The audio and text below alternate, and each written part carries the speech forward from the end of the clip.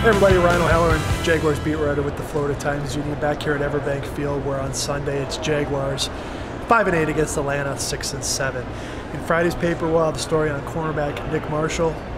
Before last Sunday he played only 3 defensive snaps the whole season, making a transition from quarterback at Auburn to cornerback in the NFL.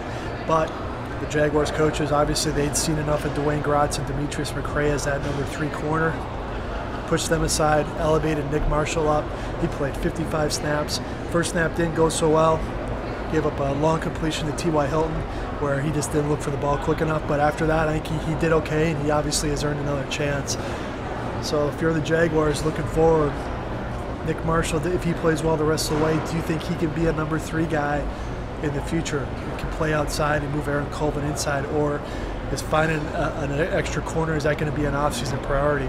I think I think the ball is in Nick Marshall's court right now. If he can show he can play, he definitely has a role moving forward. So look for that story on Nick in Friday's Times Union. I'm Ryan O'Halloran for Jacksonville.com.